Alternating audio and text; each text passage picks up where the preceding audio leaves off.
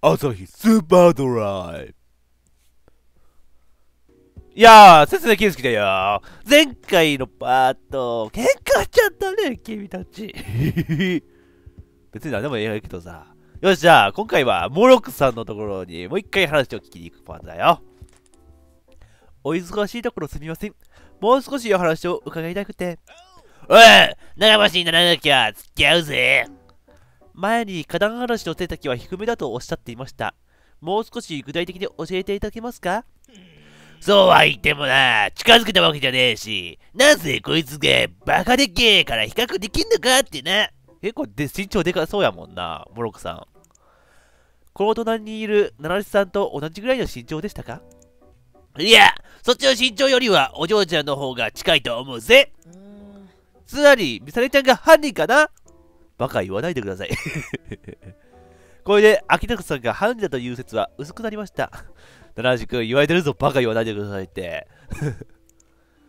七影さんと喧嘩をしていたとき、睨み合っていましたが、彼は同じくらいの身長でしたから、あ、ほうか。ほうなの。結構冷静に分析していたんだね。でも、ミサレちゃんと同じくらいってことは女の子かな？いえ、女性に限らず、私くらいの、私たちくらいの年には成長期で差が出てきますから。特に男の子はですね。え？春谷さん、彼も私と同じぐらいの身長だったはず。あ、そうなんじゃ。あまり成長できてない系の男の子なんやな、春谷くん。春谷くん。だから女子、あ、女の子に見えるやな。女の子。じゃ、男の子が。漢字が違う男の子。あもう一度話を聞く必要があるかもしれません。配達から戻ってきているといいのですが。春谷さんはよくここに訪れますか？ああ、そうだな。ここ1週間でも2日に1度ぐらいは休憩の時に話をしてたかな。結構来てんな。あとは、この付近に住まう方で、私と同じくらいの年、身長の方はいらっしゃいますか？そんなら、喫茶店でおじさんの手伝いをしているロッカちゃんくらいかな。近所に住んでるっつうのはな。ロッカちゃん。ロッカさんですね。ありがとうございます。漢字で書いたら、関数字の6に花でロッカかな。可愛らしい名前。まずは、春谷さんのところへ行ってみましょう。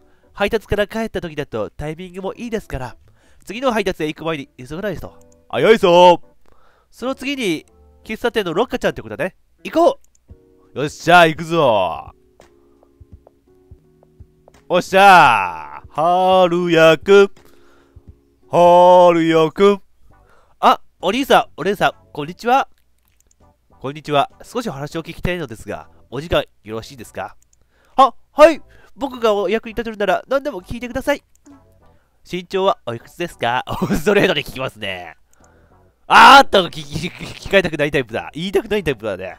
結構自分の身長にコンプレックス持っているタイプだね。150センチ。144センチだね。七橋君は君の全てを知っています。わー低身長。この子いくつかわからんけど、もう年齢の割に低身長なんやな。もう少し大きくなれば一気に伸び伸びますので気にしてなくても大丈夫ですよ。ぼ、僕は未来じゃなくて今高くなりたいんです。うーでも、ハリア君、144センチがいきなり160なもとが170とかになったら、君、成長というよりかは、突然変異だぞ、お前。ここ最近であのガーデンに行ったことは？え、えー、っと、モロコさんとお話しするために行くことはありましたが、それ以外は僕はほとんど配達の別別に配達に別の町へ行ってるので、随分と曖昧な風に言われるのですね。え、す、すみません。結構ぼーっとしてることが多いので、配達もあっちこっち行って頭の中ぐるぐるしちゃうから、方向音痴の DNA やな。方向音痴の DNA でどっち行けばいいか分からん時があるよな。あの、僕、喫茶店に用事があるので、あまり長くお話できないんですけど、大丈夫ですか？大丈夫、大丈夫。俺たちだって後で喫茶店に行く予定だから。そうですか。ではもう少しお話を聞かせてください。奈良さんに。俺？そうです。あなたが聞くんです。お願いしますよ。あーまた俺にこういうことを、こういう情報を引き出す役やらせるんか。でもそうやな。奈良く相手の心を読めるけんな。そういうから矛盾を、嘘を突き止めることができるからな。だが嘘を突き止めるってあたり、前作のライトみたい。クローゲームの作者の前の作品のライトみたいな感じのところがあるな。こういうゲーム作者さん好きなんかなよっしゃ、行くぜえ、えー、っと、ハリャ君が、ガーデンに行くときって大体どういうときなのかな？えー、っと、モロクさんとおしゃべりしたりするときです。お昼休みのとき、間時間にお話ししたりするんです。結構仲いいんやな。どんな話するんやろ、この子たち。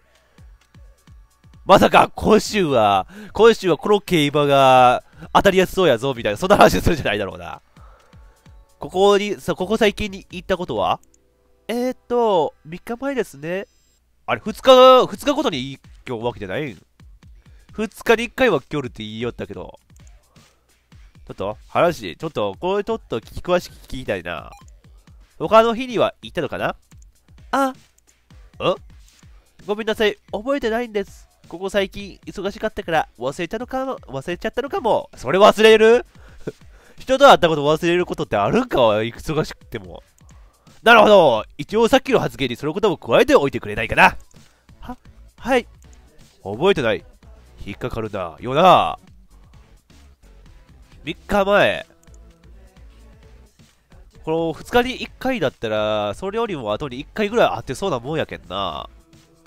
話題振る。モロクさんの話で2日に、これこれこれ。よっしゃー来たこれは分かったぞ今日朝のちょっとめず、朝起きてちょっと時間経った目の冴えやすい時に、頭が冴えやすい時にと表現、結構数読ついたぞ俺。ハリア君、ここ1週間でモロクさんとお話したい曲があるのは3日前だけ？は、はい、そうです。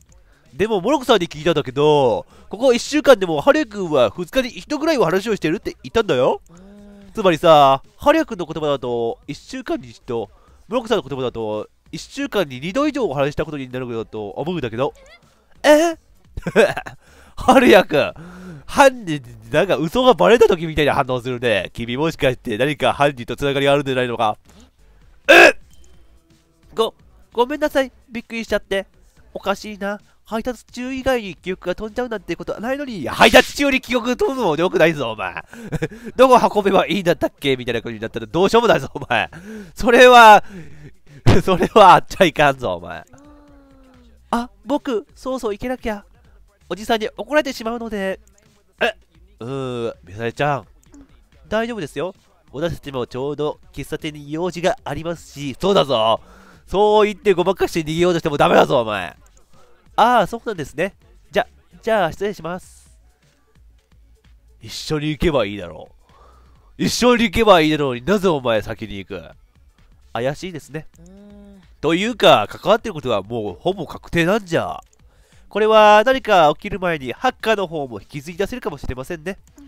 とにかくは、喫茶店の方に行ってみましょう。よっしゃ、喫茶店のどこじゃ喫茶店どこやったっけこっちかこれか？これだったカフェじゃん。よっしゃ、これじゃん。お初めて見る女の子。これがもしかして、ロッカちゃんか。こんにちはは、いはいはい。お待たせしました。めっちゃ可愛いやけど。わーって、絶対このお店、ロリコン、ロリコンの人がやってくる。ロリコンの人が大勢やってくるタイプじゃん。ロリコンホイホイじゃん、これ。あれ？一人？萌え声だわ、これ絶対、なおさら、なおさらロリコンが集まってくるタイプのお店だね、これ。自覚ある？あ、注文とかじゃないんだけど、少しお話を聞いても大丈夫かな？は、はい、なんでしょうよ？髪型が独特だな、お前。う、まず一旦落ち着こう。舌が切れちゃうよ。えー、はあ、はあ、よし、なんでも聞いてくれて、噛んでるよ。まだ噛んでるよ。ハリア君って、ここによく来たりするの？ハリア君ですね。今でもたまーに来て休憩したりはしてましたが、ここ最近はよく来てるかもです。あ、結構最近よく来とんじゃん、あいつ。あいつって言っちゃった。あの子。何してるだろういや、それコーヒーとか飲み。いや、コーヒー飲まなそうやな。いや、休みに来とるやけん。あ、でもコーヒーとか飲まなそうやな。あ、あの見た目でコーヒーブラックで飲むとか言われたら、えってなるよ、俺。別にいいけど、えってなるよ。意外。えー、っと、おじさんと飲み物を飲んだり、話をしたりかな。いない時も来ますけど、今もしてるんじゃないかな。あ、ハリア君結構年上と気が合うタイプなんかな。おじさんと、モロクさんとかおじさんとかとよく話するって おじさん的な思考あんの？はハリア君おじさん的な趣味あんの？おじさん？最近変なことって何かある？え、変なことですか？うーん。あ、知らない子もいましたね。知らない子？多分、私と同じ10歳くらいかな？よく見てませんでしたけど、10歳くらいか。身長144センチぐらいの小さい身長っていうのが当てはまりそうな気がするけん。この子もなんか事件に関わってきそうな感じ。また候補が増えた。ロッカさんはあそこのガーデンへ行くことは最近ありましたか？うーん。前の休日にモロクさんと遊んでもらいましたけど、あとはずーっとここでおじさんの手伝いをしてますので、モロクさんめっちゃ子供の、子供相手得意やな。いい人。モロクさん結構いい人やな。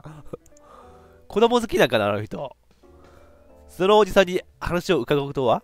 どうでしょう？まだハリア君とお話ししてるかも。ちょっと呼んでみますね。知らない子ですか？怪しいですね。やっぱり子供ばかりに狙われてるってことなのかな？今のところ、大人の人でハッキングされてるっぽい人いないし。そうですね。また複雑にならなければいいのですが。おじさん、呼んできましたよ。どんな人が出てくる？あ身長大きい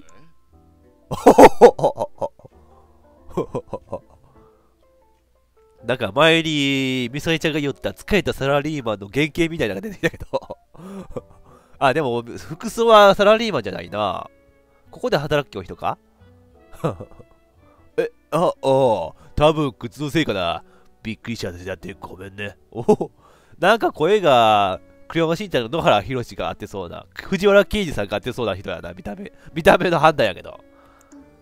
あの、少しお話を伺っても大丈夫ですか？ああ、僕は大丈夫だけど。ハリアさん、最近ここによく来てますよね。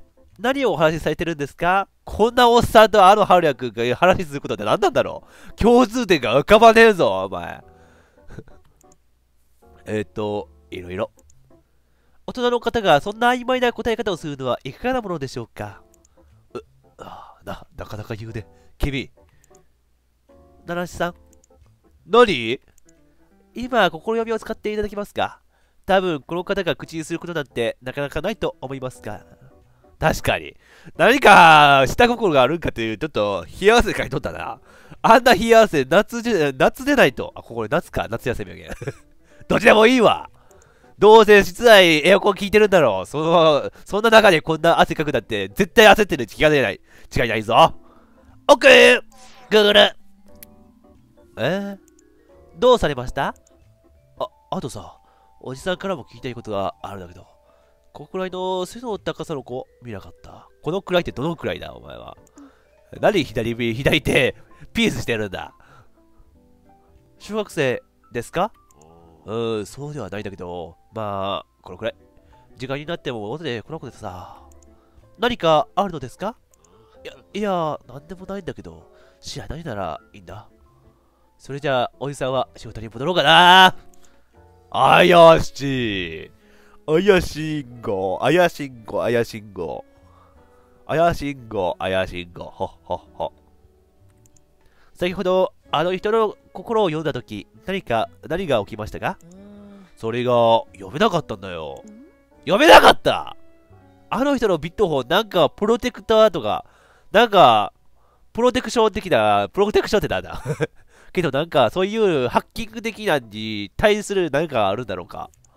いや、俺もわからないんだけど、俺が解析するのは前に言ったように、俺の見える数値であって、ビットフォンのデータとかじゃないのにな。そういうのを守っとう感じ。謎ですね。一度、夏影さんのところに戻って話をまとめてみましょう。そうだねそれでさ、戻ってきとったらまた喧嘩してるってことないだろうな、さすがに。もう喧嘩はしないようにね。喧嘩してないよね、さすがに。おーす夏影くん よろしく、その挨拶結構慣れらしいね。どんなノリだよ。何か不審な人物はいましたか？それとも喧嘩してませんよね？まあ、結構出入りはあるものだな。花壇荒らしてる、花壇荒らしてる奴はいなかったけど。なんか、花壇前の道端でアリ踏み潰してた白髪のガキが気になったくらいだよ。白髪のガキ。はあ、白、白、白、白、白髪。なんだこれ。この時子供時代特有の残酷な一面ですね。そうだよな。ちなみに俺も人のこと言えません。なぜなら、アリをたくさん集捕まえて、クモロスにぶっこんでた人間、そういうタイプの人間ですからね。あれ？みゆみさんは？そこのベンチで寝てるだろうな。退屈で暇だったんだろうな。ごめんな、みゆみちゃん。今度パフェおごってあげるけ許して。わあ、ほんとだふにゃー。あららら、奈良さんにみさねさん、おはようですの。フリーダムだな、お前は。みゆみさんも起きたようですので、皆さんで一度話をまとめてみましょう。夏影さんが気になった人物は、その人だけですか？そうだな。今でもあそこで何かしてるけど、おるんかいなお、なおでおる。おーえ？何これ？オラオラ 絶対オラオラって言いそうなタイプのキャラじゃないな。多分、オラオラって感じだけど、オラオラみたいな感じなんだろうな。なんだこれ？や、やめろ。わしわしするな。まだ、ちょっと待って。それ以上この白髪の少年よりもさらに気になるもん出てきたぞ、お前。これをビットホンの効果で喋るようになった時な？なるほど、これがわしわしだ。ー 気になるやつに気になるやつを重ねてくるな、お前。注目はここだっただろうが、お前。いや、それでよく夏かけさんは別に他にはみたいなこと言うたな。こんな、お前、明らかに怪しいやつおるでないか、お前。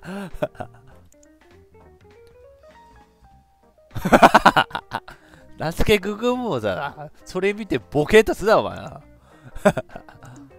あの紙袋とかぶった人と人語を喋るいるのもおかしくないですか？そうだな。でも、一応、花壇嵐の情報は身長が140センチ前後の子供だから、あの母髪の子は気になるけど、そうですね。あのー、喫茶店のおじさんにも詳しく話を伺いたいところです。心が読めませんでしたし。この後、どういった行動をとるべきか話し合いましょう。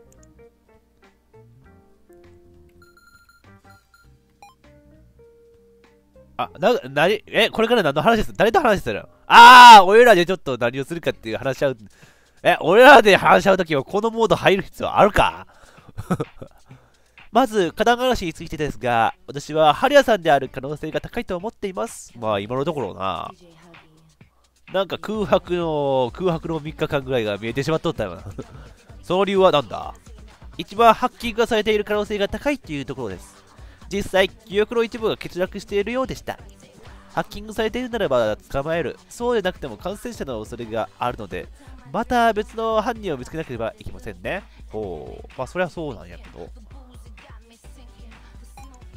そのハッカーは、はそのハッカーという方を捕まえた方が早いのではないですの？そうですね。一応、それらしき疑いのある人は喫茶店にいらっしゃいましたが、ああ、あのおっさんな。あの、すごい疲れたおっさんな。お前らが話してた子供を探してるっつおっさんか。子供を探すおじさま。うーむむむ。その子供が誰か分かれば、まだ分かりやすそうなんですけども、それが今の白い髪の男の子か？そう探しとったって。これよっしゃーだろうな。それって、あそこで犬をいじめてる子じゃないかな。見た目、見たところ、あのおじさんが言ってたくらいの身長だし。なぜ？ハリア君もこの町にはそんなに子供はいないって言ってたし、あの子を連れてって一度おじさんに話を聞くのはそうですね。今できることはそれしかないかもしれません。他の情報が曖昧すぎて何とも言えないからな。では、夏影さんにあの子を捕まえてもらいましょう。それは力ずくで取り押さえるってことか、お前。肉体労働を夏影くん夏影くんでさせるんじゃ。つか、夏影くんやってんす。そういう荒っぽい仕事を夏影くんでさせる、どうなの？なんで俺なんだよ。この中で一番力がありそうな人は誰でしょうか？ああ、わかったよ。なるべく穏便にことを運ぶようにはお前らが頑張れよ。わかりました。もしこの時はお願いします。ああ、ミサレちゃん。ミサレちゃん、刑事だろ？警察なんだろ？警察なんだったら手帳の一つぐらい持てない？手帳使おうぜ、手帳。と言っても、あそこでずっといじ犬をいじめてるけど、大丈夫だなまあ、大丈夫でしょう。行きますよ。犬の心配は何もしない、ミサレちゃん。あ、なんだ、ミサレちゃん、犬嫌いな猫派？猫派なんだったら俺と気が合いそうだよ。